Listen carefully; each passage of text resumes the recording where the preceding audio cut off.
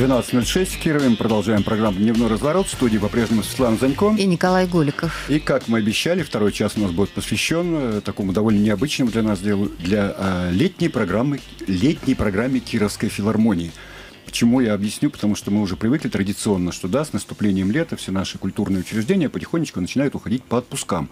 И программы как таковой ну, не становятся. На гастроли, да. Или на гастроли разъезжаются, благо гастроли сейчас идут активно очень. А в этом году мы что не театр, что не учреждение, там, что вот и филармония смотрим, все летом очень активно работают, причем да еще как работают. Потому что вот я посмотрели программу сегодня, да, Свет, угу. даже вот на ближайшую неделю. Но... Культ похода не хватает. Культ похода на просто и поэтому, не хватает, да. И поэтому мы прямо сейчас а, в этом эфире а, по телефону 211-101 будем разыгрывать э, билеты на концерты Вятской филармонии. Первый билет – это а, на концерт Вятского камерного оркестра 21 июня в 11 часов. Этот концерт состоится, напоминаю, это пятница, 21 июня в 11 часов. А, концерт в рамках летней творческой школы для одаренных детей. Мы о ней сегодня поговорим. И второй билет тоже на двоих мы будем разыгрывать на 24 число. Это, это уже понедельник. в большом зале летнем, да, летний Да. концерт Вятского симфонического оркестра, концерт «Ах, этот вальс». Звучит-то как Да, в 18 часов. Лето, вальс, романтика. Слушай, прекрасно. Да. И сразу же 211-101, сразу же, чтобы вас подключить активно к нашей работе, мы зададим первый вопрос. Мне коллеги его подсказали. В самом начале я озвучиваю, все придумали. я озвучиваю, в каком городе и в какой стране находится самый большой в мире орган. 211-101, билеты в Вятскую филармонию на выбор на 21 или на 24 число мы разыгрываем, в каком городе, в какой стране находится самый большой в мире орган. Пользоваться помощью гаджетов не возбраняется. Поэтому это Приветствуется. вполне, да, приветствуется. Приветствуйте. Это Ищите материал. Почему про орган, а не просто так? Потому что у нас в гостях э, э, замечательный совершенно человек, Мария Мохова, э, органистка. Мария, добрый день. Здравствуйте. Здравствуйте. А Надо сказать, что в афише э, значится, что Мария Мохова, орган, запятая, Германия. Да, но, но Маша родом из России, из Нижегородской, и- из Нижнего Новгорода. Все правильно? Да, все правильно. Мы поподробнее об этом поговорим, как По-русски только неплохо говорить для жителей Германии. Спасибо, я да. стараюсь. представим нашу вторую гостью, нашего постоянного гостя, эксперта и друга Елену Преснецову, музыковеда. А, Лена будет помогать Марии, потому что Мария у нас первый раз в эфире. И кроме того, она нам расскажет про удивительный совершенно проект. Э, Это школа для одаренных детей провинции столицы, который в данный момент прямо тоже в Вятской филармонии проводится. Но сначала к органному С- залу. Сначала не к органному залу, сначала к нашему слушателю, который А уже, уже? по-моему, да, по-моему, уже знает, где это дело будет. Добрый день. Ага. Ой. Ну, еще раз наберите Не получилось 211 пока, получится 101, в каком раз, да. городе, в какой стране находится самый большой в мире орган. Итак, а, 18 и 19 июня, это завтра и послезавтра, в органном зале а, Вятской филармонии пройдет концерт а, а, орган и Вятский камерный оркестр. Мария Мухова, понятно, будет а, за органом, а Вятский камерный оркестр, понятно, будет а, возглавлять главный дирижер Константин Маслюк. Ну, принимаем звонок. Принимаем звонок. Пробились. Добрый день. А, Добрый день. А как вас зовут? А, Меня зовут Андрей. Андрей. Вы знали или вы все-таки гаджетом воспользовались? Нет, гаджетом. Гаджетом воспользовались. Что сказал вам гаджет? Э, В американском городе Атлантик-Сити. Все правильно. Все правильно. Совершенно Сиэтл, как верно. я понимаю, да? Любите ли вы нашу Вятскую филармонию, как любим ее мы? Вы знаете, пойду первый раз. О, Я думаю, что с интересом проведу время. тем более мы откроем для вас Вятскую филармонию. Итак, у нас два билета. 21 число – это Вятский камерный Ну, оркестр. это в 11 часов. в Начало 11 дня, часов, да, дневной в рамках концерт летней детский, творческой что- школы для одаренных детей. И 24 в понедельник в 18 часов в Большом зале летний концерт Вятского симфонического оркестра. Так, на 24 число. На 24 не 24-е, кладите да, трубку, всё. пожалуйста. Вам сейчас э, продюсер все объяснит. Этот вычеркиваем билет. Потом ждите следующего вопроса. Итак, к Марии Моховой. Маш, а с каким концертом, во-первых, приехали? Рассказывайте. Ну, у нас, э, так сказать, в центре нашей программы с Константином Александровичем Маслюком, главным дирижером Вятского оркестра, э, стоит концерт Ефрема Подгайца. Это сочинение очень э, новое, написанное недавно. Вот. И, так сказать, состоится российская его премьера. Вот это, Это центр премьера нашей будет? программы. Да, это будет премьера. Вот. А в первом отделении, вот вы уже упомянули, ах, этот вальс, лето, так сказать, хочется чего-то более легкого. И в первом отделении концерта я приготовила программу, состоящую из танцев. то есть танцы для органа танцы для органа. Угу. Это очень Но это, интересно. наверное, все-таки такие, такие несовременные танцы, я сказал. Нет, тогда? конечно, не современные. Там будет все от очень древнего жанра пасакалия. Прозвучит пасакалия до минор Баха, очень известное сочинение. А также менее известное сочинение, но эм, не менее выразительные э, композиторов э, Гастона Литеза, Маргарета де Йонг и Таката Дюруфле. Тоже достаточно любимое сочинение среди органистов. Так что, общем, Я знаю только достаточно... Баха. Поэтому не знаю ни одного из следующих э, авторов. Ни Гастона, ни Маргарету, ни Мариса. И я, кстати, заметила, тут вот хочется сразу же подключить и Елену тоже. Я, кстати, заметила, что а, люди, которые приходят в органный зал, получая вот такую программу, где наряду с популярными композиторами, а есть композиторы современные, которых они или не современные, но которые редко а, представлены в программах, они радуются чуть ли не больше, чем знакомым произведениям, потому что открывая для себя что-то новое. Вы это замечаете, когда вот вы ведете концерт? Ну, вообще, честно говоря, в органном зале я не веду концерты очень редко, но была, естественно, на этих концертах и для себя тоже заметила, что любое сочинение для органа, для современного слушателя, который не каждый день ходит в органный зал, представляет огромный интерес. И такая, как, конечно, и радость чего-то нового, познавания, безусловно, есть, вы правы абсолютно. Почему выбран Подгайц в качестве, Ефрем Подгайц в качестве основного автора, и как вы решились на эту премьеру? Ну, мне кажется, вообще Константин Александрович не любит этого автора, потому что я довольно часто слышу его произведения да. в нашей филармонии. Да, да действительно. Это его идея была? Да, это была его идея. Более того, он как бы был инициатором вообще этого переложения. То есть э, сам по себе концерт был написан много лет назад для клавесина с оркестром. Это сочинение очень популярное в России и за рубежом. И э, Константин Александрович Маслюк. Вот, Маслюк, mm-hmm. да. Эм, выразил идею сделать переложение для органа. Мы с ним, в общем, давно сотрудничаем. Нам очень нравится работать вместе. Для органа и камерного оркестра. Для органа и камерного да. оркестра, да. И Он Ефрем сам Иосифович... перерабатывал? Да, конечно. О, паники. Вот, Ефрем Иосифович переработал концерт для органа, вот э, выслал ноты. Это вот было буквально там полгода назад. Подгайц специально для нашей Вятской филармонии и для Марии Моховой переработал свой концерт. Ну, то сказать, что Подгайц к нам очень хорошо относится, к нашей Вятской филармонии. Я просто перебиваю Машу, он у нас уже был. Э, и была у нас премьера, можно сказать, такая тоже эта сказка маленький, точнее э, не премьера еще, но для нас это была премьера, угу. сказка "Маленький принц" с симфоническим оркестром, и будет специальная сказка в новом сезоне, который для нас пишет Ефрем Подгаец. И будет, кстати, концерт в рамках творческой школы. Он будет здесь 19 числа. Ефрем Осипович. Сам приедет. Да, сам mm-hmm. приедет. Так что он все будет слушать сам, сам будет оценивать и сам будет присутствовать на этой концертной Я программе. просто как человек немножко причастный, потому что у меня сын учится в первой музыкальной школе, и там детский хор исполняет под Гайца очень много произведений, просто удивительно.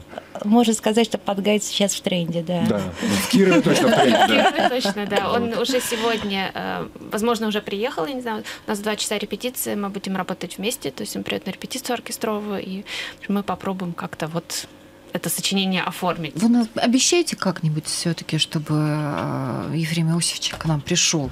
Конечно, нужно, наверное, было как-то заранее это обсудить ну, мы, мы, в новом мы, сезоне. Я да. думаю, что да. Мы, я думаю, что мы в новом сезоне обязательно познакомим наших слушателей непосредственно уже с Ефремом Иосиф, Иосифовичем. А, а в какой манере вообще пишут, а, пишутся современные концерты для органа? Знаете, вообще, но о тенденции современных концертов для органа говорить трудно, потому что их просто очень мало. То есть, на самом деле, органный репертуар не так велик, как, скажем, ну репертуар ну, Число органов тоже не так велико, в отличие, скажем, от числа фортепиано, если так уж говорить, да. Да. И исполнителей, соответственно. Конечно.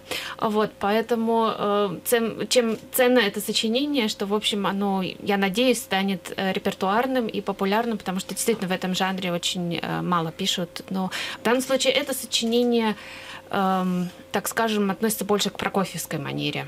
То есть довольно современное звучание такое, да, получается? Да, современное, но мелодичное, то есть не атональное, uh-huh, вот с очень эм, жесткими ритмами, очень интересными перекличками между органом и оркестром. Сочинение очень трудное, мы вчера начали уже над ним работать с оркестром, в общем, все нелегко, но, но очень выразительное. То есть, в общем, все, кто придут, получат большое удовольствие. Время уйти на перерыв. Перед перерывом зададим второй вопрос нашим, нашим слушателям. Остается еще билет на двоих на 21 июня. Авиатский камерный оркестр в рамках летней творческой школы для одаренных детей. Кто готов? Так, Елена, я знаю, вы всегда готовы. Ну, Раз я... творческая летняя школа. Давайте что да, сделаем. Вот я бы хотела спросить, а насколько вообще наша публика знакома с нашими одаренными детьми? Вот, которые вообще, как сказать, участвуют в нашей городской жизни. Хотелось просто спросить, вот эта летняя творческая школа для одаренных детей, она проходит впервые в нашем городе или не впервые? Вот. Хороший вопрос. В который Главное раз? отвечать легко, либо да, либо да. Или в первый, или не в первый. Да, в первый или не в первый раз проходит э, в нашем городе летняя творческая школа для одаренных детей, о которой мы расскажем чуть позже. Сейчас уйдем на перерыв 201 101. Набирайте и пробуйте отвечать на вопрос. У нас есть еще пригласительно на двоих на 21 июня. Итак, итак, у нас в студии Мария Мохова, а, органистка, а, которую можно будет услышать в органном зале вот ближайшие два дня. Правда, там говорят уже аншлаг. Аншлаг полный, все Да, ну это, кстати, там, там ведь ведутся записи, вот я не знаю, сейчас не все. Должны ведь везде будет запись, там можно будет да. посмотреть. И Елена Преснецова, к ней я обращал как раз вопрос по поводу записи концертов, а, музыковед, а, наш постоянный гость и эксперт. И есть а, слушатель. Добрый день. Алло, здравствуйте. Здравствуйте, как вас зовут?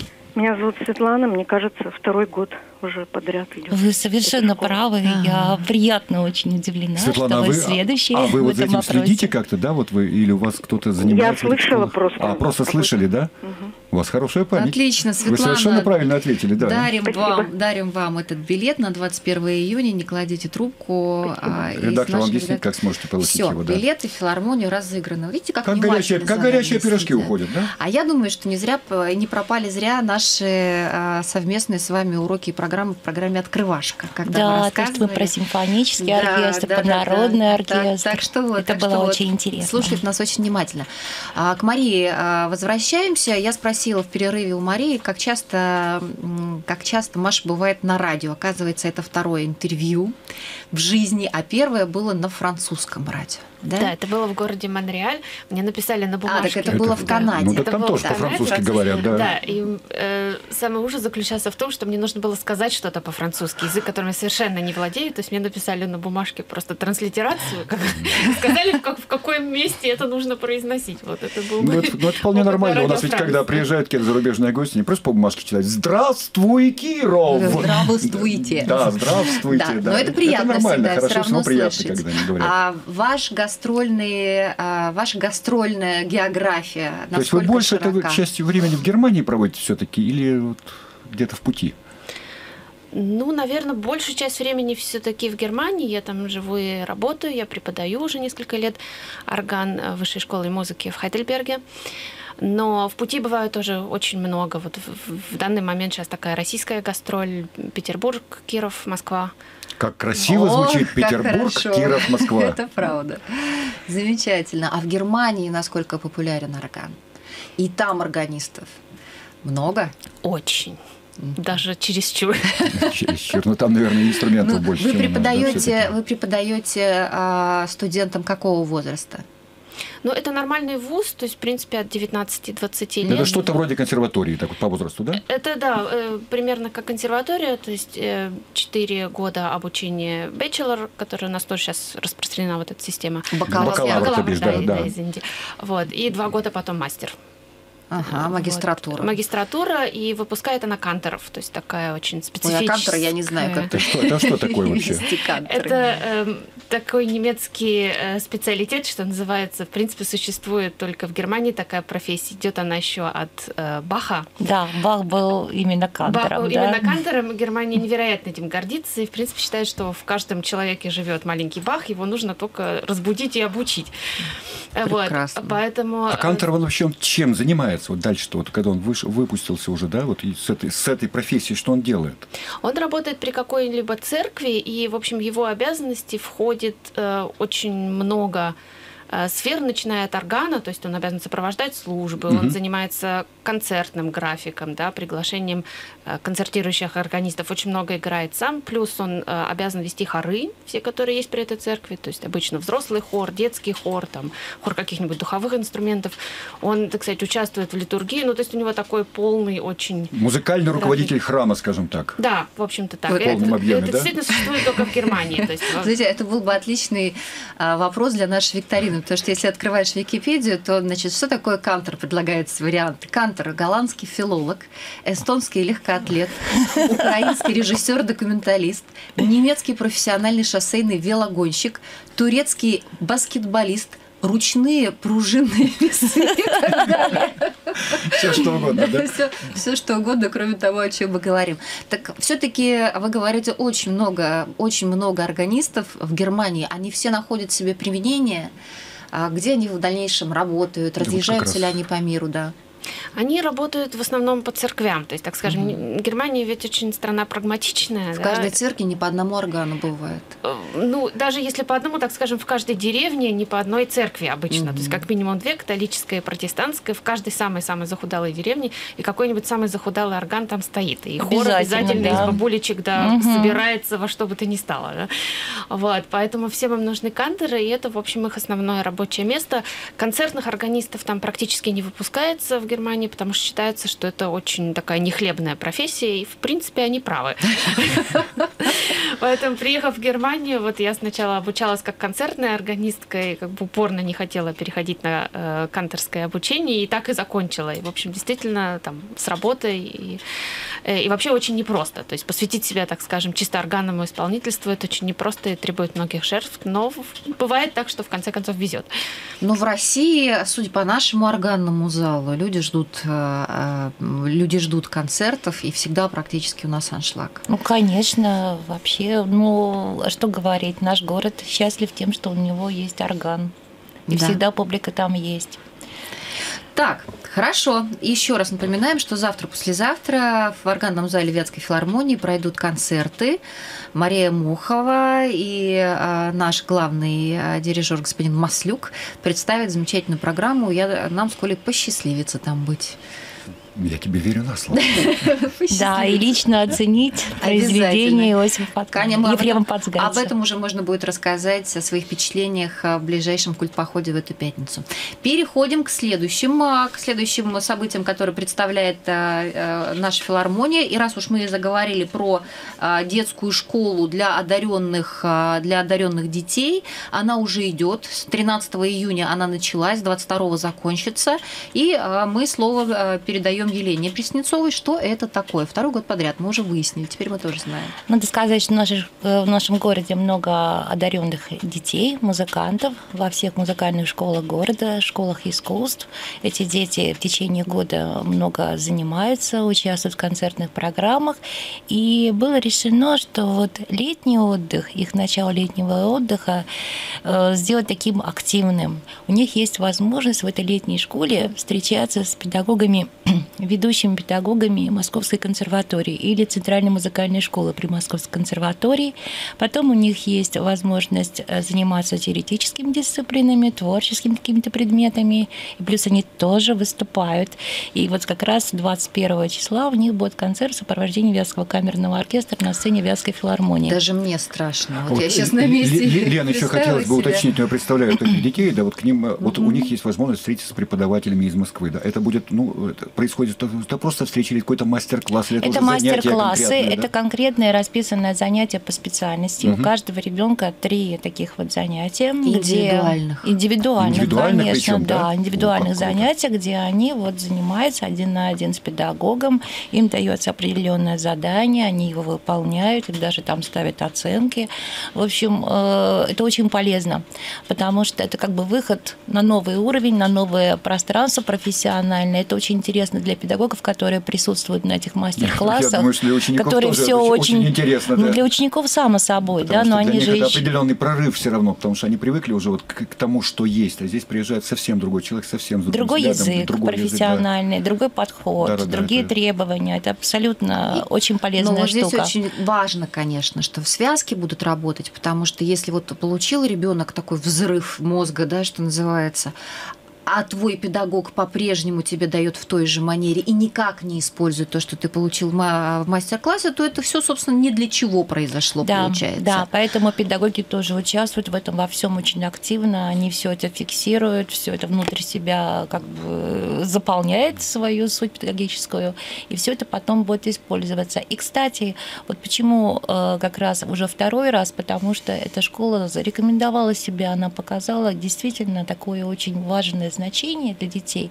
И в течение года эти педагоги тоже приезжали, было весной, в такие же вот такие мастер-классы. То есть получается, что наши дети одаренные, они уже под контролем находятся хороших музыкантов из Москвы, и я думаю, что это большая перспектива. И все это проходит как раз в рамках проекта «Провинция столица» на базе 11 школы, Вятская филармония здесь, конечно же, принимает деятельное участие, безусловно, Константин Александрович Маслюк, он как бы вот является одним из кураторов этого проекта, ну и, конечно же, Управление культуры города, оно здесь не в стороне, оно тоже здесь Да, Константин весьма, Александрович, как весьма- не- если тем более потом концерт итоговый будет с оркестром, которому он руководит, понятно, что он с самого начала должен быть в Нет, процессе. но он, он, понимаете, Константин Александрович, он человек очень такого широкого, сказать, э, творческого дарования. Он не только дирижер, он ведь превосходный пианист. Он закончил Московскую консерваторию не только как дирижер, но и как Вы пианист. знаете, мы слышали его Вот, он, да. в общем, вы все про него знаете. Не поэ- все, не все. Вот, Может по- поэтому Слушал, это да. человек очень заинтересованный в наших детях, наших вязких кировских детях, и он всегда очень серьезно относится ко всем вопросам. Если уж он чем-то занимается, то занимается всегда очень тщательно и очень качественно. Вот отсюда, кстати говоря, и вопрос, конечно же, а чья это была идея создать такую школу? Но здесь идея, э, я считаю, что Ирина Санна Лунина, это директор 11-й музыкальной школы или школы искусств, как это правильно сказать. Вот они как-то с Константином Александровичем объединились. Не знаю уж, кто из них первый сказал, а давайте-ка мы сделаем такое, Мгм. не буду говорить, я при этом разговоре не присутствовала, но, в общем, Ирина Санна это как бы вот организатор, который все это разруливает, рулит, создает, крепит. И действительно, вот они с Константином Александровичем делают очень большое дело. Ну и цель все-таки она долгосрочная, я так понимаю. Раз школа прошла а, впервые, потом во второй раз планируется наверняка дальше. А есть, Конечно. видимо, какая-то стратегия. Ну, конечно, стратегия. Дети же растут, им же нужно выходить в большой музыкальный мир, им нужно определять свою судьбу музыкальную, что они будут делать дальше, где они будут учиться. Есть одаренные дети, которые могут быть, возможно, свое образование продолжат и не здесь, а Тем более, что они, они уже будут, да, вполне нормально представлены этим же педагогам, которые уже будут знать, кто к ним Ну, приехал. по крайней мере, они получат очень дельный, хороший совет, как им дальше устроить свою музыкальную судьбу. Это И- важно. Еще, смотрите, у них же в программе не только вот этот большой концерт итоговый, я понял так, что они в течение школы еще будут выступать на различных площадках. Конечно, они вот как раз 19 числа выступают в первой школе. Это будет концерт авторский Подгайца. Он там будет сидеть и все Кстати, о это, собственно говоря, опять-таки, да? опять Подгайц, да, он будет все слушать и будет делать какие-то свои замечания. 20-го они в органном зале выступают, 22-го у них э, в выставочном зале заключительный концерт в 5 часов. Словом, у них такая жизнь, вы знаете, у взрослых музыкантов такой жизни не бывает. Они очень много занимаются, много выступают, они мало спят. Но это ничего страшного, зато вот этот опыт выступлений, потому что вот я тоже наблюдаю, когда выступлений мало у человека, у него же все эти, вот знаете, вот очень такие излишние волнения. Жизнь замирает, Жизнь да. замирает, да. Когда Да. это немножко в практику входит, он уже на самом деле способен выйти и показать то, что он может, да? Да, и у него нет такого страха, скажем Да-да-да-да-да. так, перед сценой. Он чувствует себя вполне адекватно, и ему есть возможность развернуть себя. Давайте поговорим про 24 Через полторы минуты. Через Хорошо. полторы минутки. Мария Мохова, органистка, которая будет выступать вот 18-19 июня в нашем органном зале. Ну, сейчас такая реплика хорошая прозвучала, вот как раз обменивались за эфиром мнениями как раз о нашей этой школе, вот одаренных детей. Мне Которую Елена да, Преснецова представляла. Да-да-да, и мне понравилось, Маша сказала, вот в Германии такого не делают. Вы знаете, даже в Германии такого не делают, мне еще приятнее стало за наш город. А почему такое вот мы... Просто напомню, погоди, что да, Лена Преснецова у нас еще тоже в студии находится, это музыковед, и мы как раз говорим о, о проекте о школе провинция столица, вот который вот сейчас переходим потихонечку вот э, к итоговому мероприятию этой школы, да? Вот подожди. А пока вот, да, вот секунду. Значит, все равно, ты вот не зря заметил, что действительно это важно. Мы в перерыве обсудили очень важный вопрос, что, во-первых, а, такие школы, я, вот для чего, почему меня это очень сильно задело? А, когда мы говорим о том, что вот-вот а, одаренные дети уезжают в столицы, потому что в столицах есть те другие третьи, десятые, пятые возможности, они уезжают за рубеж, потому что там есть третий, десятый, пятый специалисты и так далее. Вот здесь процесс абсолютно грамотного подхода, когда сюда привозят специалистов, и здесь на местах одаренные ребята и ответственные родители – которые хотят своим детям это дать, они имеют возможность воспользоваться вот, вот всем, чем могут воспользоваться в центре.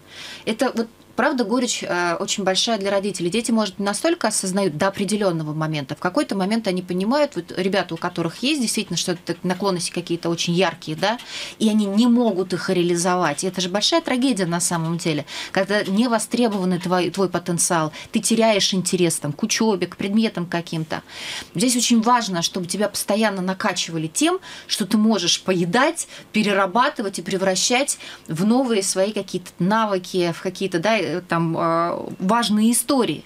Поэтому, поэтому важность вот этой школы, а, вот, на мой взгляд, она просто не переценить невозможно. Больше бы таких вот историй в Кирове, больше бы таких историй. И, и здесь надо отметить на самом деле, что эта история не благотворительная, это история коммерческая, но а, почему не благотворительная? Потому что благотворителей, к сожалению, в Кирове маловато. Вот был бы большой благотворитель, который все это вот делал, там, например, то у нас столько направлений, на каждого ребенка бы по благотворителю, по сути. Но в данном случае родители являются там, да, двигателями благотворителями, плюс являются ответственные педагоги, которые привозят сюда эту школу, и, и, и она обеспечивает этим ребятам реализацию своих способностей. Это, это очень важно. И вот как раз действительно а, Мария отметила, заметила, что а, и правильно делают родители, что пользуются этим, потому что в Германии не совсем так, ну, может быть, не везде так. Совсем не так. Совсем, совсем не а так, как? Да, да, а как? Понимаете, там э, музыка и вообще искусство, да, считается хобби. Угу. То есть даже если у ребенка есть способности, в общем, ни родители не будут это, к сожалению, поддерживать и развивать, ни школа общеобразовательная не пойдет ему навстречу. То есть возможности вот таких вот, то есть, понимаете, ведь элементарно нужно время, чтобы заниматься. Да? То есть ребенок должен определенное количество времени проводить с инструментом, у него должно быть определенное количество уроков в неделю. Урок на музыкальном инструменте в музыкальной школе немецкий составляет 30 минут в неделю. Ой. И, и все? Вот, и все. И вот и при, при этом у нас еще... А откуда в Германии музыканты берутся? Вот все из Нижнего Новгорода едут, да? В общем нет, на самом деле, как бы смех смехом, но если вы посмотрите, э, придете в любой немецкий вуз, да, в консерваторию, например, в музыкальный вуз, то, в принципе, вам встретится 90% русских и азиатов. Вот так вот. Потому что это люди, это, кстати... А между прочим... Да. То есть консерватории в Германии а есть, а между... а учатся в них студенты да, из России и из азиатских стран, да? да а между прочим, есть. азиатские страны, а школу музыкальную, вот я имею в виду как школу, из Советского Союза, в общем, переняли. Да, то есть это единая система, которая, в общем, имеет угу. корни э, здесь, и вот она у нас, так да. Работает. И она работает, потому что нужна действительно нужна поддержка, то есть родителям при... и приходится жертвовать, да, и большой, и большой труд. труд, и родителей, и ребенка, и преподаватели, ведь кто будет в Германии сидеть там во внеурочные часы ночами, да, готовить ребенка к конкурсу или еще что-то. В общем, все это, то есть все это держится на энтузиазме, да, который да, у нас, слава да. богу, еще есть, угу. и слава богу, еще вот поддерживается. Мы желаем нашей школе крепнуть и расти. Так, да. к 24 числу переходим. А 24 числа у нас состоится уже традиционный летний, мы еще его называем общедоступный концерт, потому что цены на билеты в этот вечер будут всего 100 рублей. Угу. Вот, и все, я думаю, что могут прийти. Тем более для публики такого широкого, скажем так, спектра и программа выбрана соответствующая. Это тема, тема вальса. Вот, Опять действительно, вальс, программа да? называется «Ах, этот вальс», и, соответственно, музыка будет звучать самая разная, но в жанре вальса, начиная от известных песен, романсов. Вот, я даже выписала вот эти все названия. Например, я помню вальс «Звук прелестный», «В лесу при фронтовом», «Севастопольский вальс», «Вальс о вальсе». Даже будут вальсы из оперет Штрауса звучать. Любит Маслюк вальсы? А? А кто ж их не любит-то, Свет? Мне кажется, что здесь вообще любят вальсы все. Все. Вы совершенно правы. И это такая романтическая тема, она с летом очень хорошо сочетается.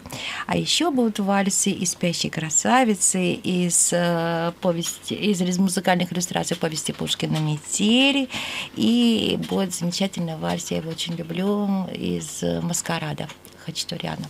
Вот такая будет программа. Дирижер будет Евгений Дробахин, кстати, в этот вечер. Вот. И, э, конечно, мы хотим, чтобы публика пришла, заполнила наш зал, поддержала оркестр. Тем более, что наш оркестр в этом году действительно, и как в прошлом году, он делает совершенно феноменальные успехи качество исполнения, вообще музыканты. Ну, а вспомните эксперимент 23 Да. апреля, когда тот же Евгений Взорвал Дробахин вышел на сцену да, взорвал с рок-группой. Да, кстати, у нас был такой кон- концерт с Про- торбой, люди- с люди торбой на плакали. круче. Надо Торба было весь Фейсбук рыдал. Они транслировали онлайн и рыдали. Да, с торбой на круче, А симфонический Мне оркестр. причем так понравилось, у нас буквально за день до концерта в студии был как раз и Макс Иванов, был и Евгений Дробахин. И еще все было неясно, у них была куча проблем. Они сидели, вот думали, что у нас ничего не получится. Это было видно по ним. Да, и вот они абсолютно. вот за сутки реально сделали чудо. Они решили кучу там тех- технических Да, вещей. технических Там, совершенно ну, верно. впервые это С было микрофонами.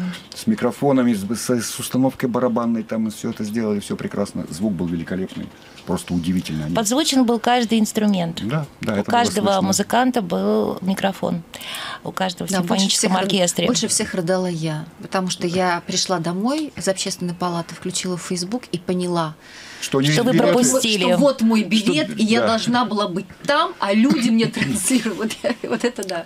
Я рыдала громче Я, всех. конечно, не мог это пропустить. И прекрасный Да. был опыт. Так что нашему симфоническому оркестру в этом году, на самом деле, по полной программе пришлось поработать. Да, Совершенно в разных очень жанрах, да. интересно. И то, что постоянно оркестр находится как бы вот на гребне каких-то интересных э, культуроведческих событий, это всегда очень приятно. И исполнение разных сочинений, рассчитанных на публику взыскательную, какую-то очень эрудированную, и на широкого слушателя. Как-то так все в программах сформировано и сложено, что ты приходишь, и ты с удовольствием слушаешь и солистов, и оркестр. В общем, всегда программы очень интересные. Ну вот, но вот эта программа 24 числа, она как бы вот на волне летнего какого-то, знаете, Ну такого... там ведь э, я понял так, что отдыха. не, не только оркестр, там же солисты петь Да. будут, да, то есть с вокалом, Слушайте, да. вы абсолютно правы, я ведь чуть Ну вы просто назвали, назвали, я понял, что вальса вальсе нельзя просто исполнить, а петь надо вальс. Там устарел, Да, у говорит, нас, значит, такие солисты. Солистов, которых знает, опять же, наша публика очень хорошо. Константин Юдичев будет петь симфоническим оркестром, Людмила Никеева, Анна Завалина. Вот, это такие известные у нас исполнители, и они украсят эту концертную программу, конечно же. Вот, так что очень хотим, чтобы все пришли, И, и билеты всего 100-150 рублей Да, стоят. 100-150 Надо сказать, рублей. что все концерты, о которых мы сегодня рассказывали, имеют ограничение 6+. Это важно нам указать для Роскомнадзора. Так, хотя... Да, пока еще штрафы не отменили. Да, хотя, хотя, Хотя обещают. хотя, конечно, мы понимаем, что ответственные мамы и папы приходят на концерты с детьми, ну тоже ответственно, пожалуйста. И- грудных приносить не да, стоит, да. если ваши дети уже привыкли а, к такому объему там информации народа, тогда да. Если нет, кстати, вот я заметила некоторые ответственные мамы и папы, они берут места с краю, вот. И прям даже, кстати, с грудничками там вот приходят в этих своих вот этих подвесах. Я уже забыла, как называется. Все давно прошло. И если что-то как-то ребеночек устал, все тихо вышли и все. Вот есть такое же, приходит совсем малыш с Конечно, малышами. да, бывает совсем с малышами, Да. малыши так как-то во все это погружаются, А потом просто они спят. растут, а, да, а Они Ну потом- спят. да, если бы а все потом спали. они растут, Потому что, я видела... опять-таки, когда вот концерт у музыкальной школы, там же приходят родители с младшими братьями, Ну да, сестрами, да, и там в какой-то момент на- начинается вот это все, значит, А, мекеке. Можно начинать со сказок в органном зале. Вот сегодня утром я сама присутствовала на сказке. Да, Вот что, это очень, да. что это было такое? Была царевна лягушка. Класс. Да, в, очень в органной обработке. Прямо, Да, Прекрасно. кстати, очень интересные бывают сказки в органном зале. Они как раз вот сейчас летом можно прийти. Там не одно представление, а их много представлений. С органом, прекрасные декорации. Очень интересно. То есть, в общем, следите за афишей, заходите. У нас лето не перешло еще в дачно-рыбачный период. В городе много мероприятий, которых можно по- посещать с утра до ночи теперь оказывается. Ну, не до ночи, до вечера. Все-таки город у нас такой спокойный. И а, п- посмотреть и слушать и концерты, и фильмы. Я, кстати, вчера с удовольствием тоже в кино сходила в первый раз в своей жизни в одиночестве. Так хорошо, я вам скажу. И на концерт тоже с удовольствием, потому что ребенок мой в лагере занят своими концертами, а мамы с папами могут посвятить свое время уже своей культурной программе. Да, кстати, я хотела сказать, что уже абонементы филармонические на следующий концертный сезон в продаже. Все уже абсолютно известно, определено, что какие программы будут и для детей, и для взрослой аудитории, поэтому можно поинтересоваться и просто приобрести по хорошей выгодной цене себе уже культурный досуг на следующий концертный сезон. А, кстати, усиливается эта тенденция, что люди а, а, покупают абонементы себе и планируют на год? Или, или она там примерно на Вы, зна- вы знаете, вот вообще абонементы распродаются. И это я знаю. Вот. Как захочешь пойти на какой-нибудь концерт, скажешь, там все абонементы уже все. Нам очень радостно от этого, абсолютно мы счастливы, что вот это дело вообще ширится, движется, что народ к нам ходит, мы счастливы его встречать и дарить ему хорошую музыку. Ну а мы вам всегда рады, и мы а, желаем и вам, и нашим слушателям прекрасной недели с а, замечательными концертами от, от Вятской Практически филармонии. каждый день, да? Практически 18, каждый 19, день. 21, 24. Да, вот. да. Благодарим Марию Мохову и Елену Преснецову. Дневной разворот завершен. Николай Голиков. Светлана Занько. Всем хорошего дня.